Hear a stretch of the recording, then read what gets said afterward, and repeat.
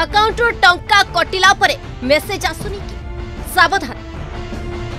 account ଖାଲି କରିଦେବେ ଠକ ବିନା ଓଟିପିରେ ଗାଏବ ହୋଇଯିବ ଟଙ୍କା କ୍ରେଡିଟ୍ କାର୍ଡ ବି ନିସ୍ତାର ନାହିଁ ଯଦି ଆପଣଙ୍କ ବ୍ୟାଙ୍କ ଆକାଉଣ୍ଟ ଏବଂ କ୍ରେଡିଟ୍ କାର୍ଡକୁ ନେଇ ଏମିତି କିଛି ସମସ୍ୟା ରହିଛି ତେବେ ସତର୍କ ହୋଇଯାଆନ୍ତୁ କାରଣ କୌଣସି ମୁହୂର୍ତ୍ତରେ ବି ଖାଲି ହୋଇଯାଇପାରେ ଆକାଉଣ୍ଟ କାରଣ ଏମିତି ଏକ ଠକାମିର ଶିକାର ହୋଇଛନ୍ତି ଭୁବନେଶ୍ୱର ମନୋଜ ବାର୍ତିଆ ମନୋଜଙ୍କ ମୋବାଇଲକୁ ହଠାତ୍ ଏକା ସାଙ୍ଗରେ ପାଞ୍ଚ ଛଅଟି ଓଟିପି ଆସିଲା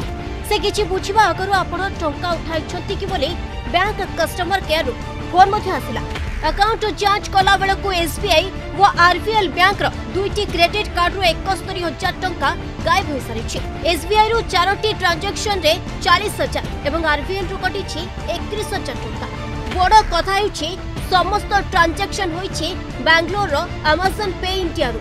ଏଥିରେ ମୁଁ ତ ମୁଖ୍ୟତଃ ବ୍ୟାଙ୍କକୁ ଦାୟୀ କରିବି କାହିଁକିନା ବ୍ୟାଙ୍କର ଯଦି ସିକ୍ୟୁରିଟି ଏତେ ଢିଲା ଅଛି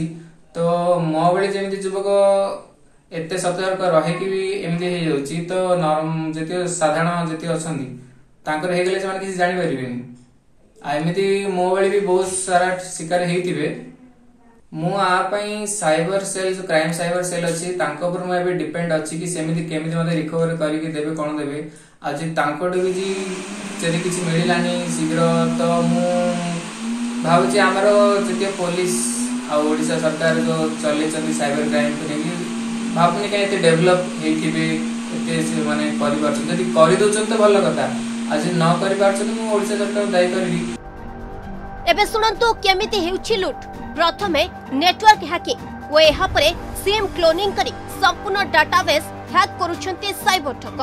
ଆଶ୍ଚର୍ଯ୍ୟର କଥା ହେଉଛି ବ୍ୟାଙ୍କ ଆକାଉଣ୍ଟ ସହ ସଂଲଗ୍ନ ଥିବା ମୋବାଇଲ ନମ୍ବର ହ୍ୟାକ୍ କରି ନିଜେ କରୁଛନ୍ତି ଓଟିପି ଅପରେଟ ଆଉ ମନ ଇଚ୍ଛା ଉଠାଇ ନେଉଛନ୍ତି ହଜାର ହଜାର ଟଙ୍କା ତେଣୁ ନେଟୱାର୍କ ସମ୍ବନ୍ଧୀୟ ମେସେଜ ହେଲେ ଗ୍ରାହକଙ୍କୁ ସଚେତନ ହେବାକୁ ପରାମର୍ଶ ଦେଇଛନ୍ତି ସାଇବର ଏକ୍ସପର୍ଟ ଲୋକମାନଙ୍କୁ ଜାଣି ରଖିବା ହେଉଛି ଯଦି କୌଣସି ମୋବାଇଲ ୟୁଜ୍ କରୁଛନ୍ତି ଯଦି ନେଟୱାର୍କର ଇସ୍ୟୁ ଆସୁଛି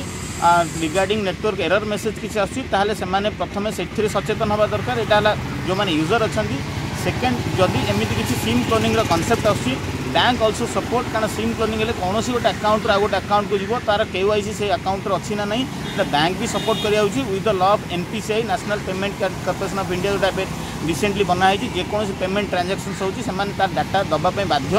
ଆଉ ତା ସହିତ ଆମର ଯେଉଁ ପୋଲିସ ଡିପାର୍ଟମେଣ୍ଟ ଅଛି ତାଙ୍କୁ ବି ସେଇ ସ୍ପେସିଫିକ୍ ସାଇବର ଏକ୍ସପର୍ଟ ତାଙ୍କୁ ଡେପ୍ଲୟ କରି ତା ଉପରେ ଇନଭେଷ୍ଟିଗେସନ୍ କରିବା ଉଚିତ ଯେଉଁଥିରେ ସିଏ ଫୁଲି ଟାଇମ୍ ଦେଇପାରିବେ ଆ ସହିତ ଗଭର୍ଣ୍ଣମେଣ୍ଟ ବି ସପୋର୍ଟ କରିବା ଅଛି ଏନ୍ପିସିଆଇ ଡାଟା ଯେମିତି ମିଳିପାରିବ ସେଥିପାଇଁ ବି ଗଭର୍ଣ୍ଣମେଣ୍ଟ କିଛି ସ୍ଟେପ୍ସ ନେବା ଦରକାର ଯେଉଁଥିରେ ଆଟଲିଷ୍ଟ ପେମେଣ୍ଟ ଇସ୍ୟୁଜ୍ ଗୁଡ଼ା ଆମେ କ୍ଲିୟର ଖାଲି କ୍ଲୋନିଂ ନୁହେଁ ଫେକ୍ କଲ୍ କରି ବ୍ୟାଙ୍କ ସମ୍ବନ୍ଧୀୟ ତଥ୍ୟ ମାଗିବା ଅଥବା ଓଟିପି ପଚାରି ଭିନ୍ନ ଭିନ୍ନ ଉପାୟରେ ପୂର୍ବରୁ ଲୁଟ୍ର ଶିକାର ହୋଇଛନ୍ତି ଗ୍ରାହକ ଏପରିକି ଲକଡାଉନ ଭିତରେ ସାଇବର ଠକାମି ବୃଦ୍ଧି ପାଇଥିବା ବେଳେ ବ୍ୟାଙ୍କ ଓ ସାଇବର ଥାନା ଧାଇଁ ଧାଇଁ ଗ୍ରାହକ ନୟନ୍ତ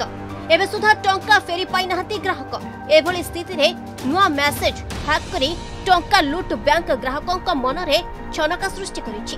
ଭୁବନେଶ୍ୱରରୁ କ୍ୟାମେରା ପର୍ସନ ସନାତନଙ୍କ ସହ ରୋଶନ ରଥଙ୍କ ରିପୋର୍ଟ ଅର୍ଗସ୍ ନ୍ୟୁଜ୍